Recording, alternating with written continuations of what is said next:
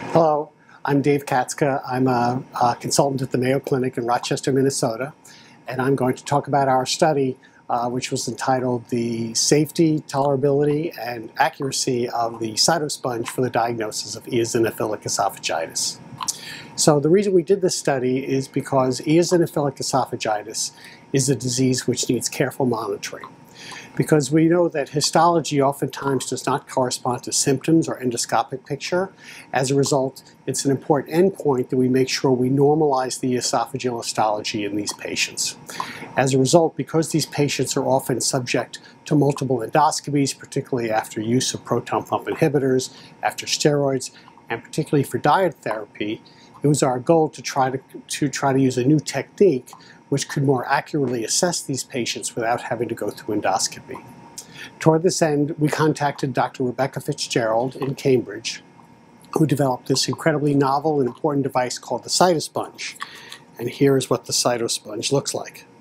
And you'll see it's a small capsule which contains the sponge and a string. And basically we unwrap this string and have the patient swallow this capsule, which I'll show you in a second. And in Rebecca's hands, Rebecca has shown uh, quite convincingly that this is an extremely accurate tool for diagnosing esophageal cancer and may well um, work in addition to or in, in fact replace endoscopy in various parts of the world where routine endoscopy for esophageal cancer screening is not available. So we thought this might be a good way of accessing tissue in patients with eosinophilic esophagitis and perhaps avoid the need for multiple endoscopies to monitor therapy. So the way this works is after the patient swallows this capsule, and basically they bunch the string in their mouth and swallow it with a large glass of water. What happens is the sponge deploys, and this is what it looks like.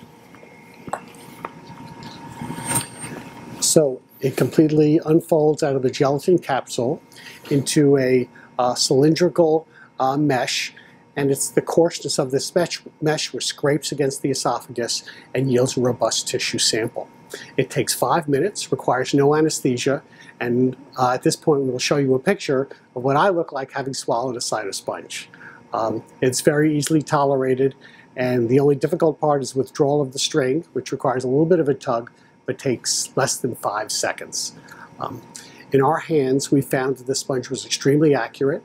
We had um, close to 85% accuracy when comparing uh, the sponge to endoscopic biopsies performed just after uh, performance of the cytosponge.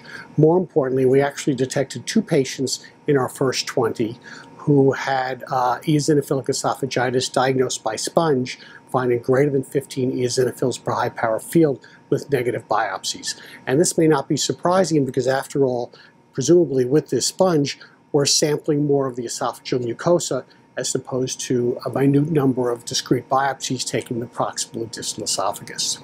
Um, just as importantly, we were also able to show that this sponge is not only accurate in diagnosing active eosinophilic esophagitis, but it's almost as accurate as endoscopy in diagnosing patients in remission as well.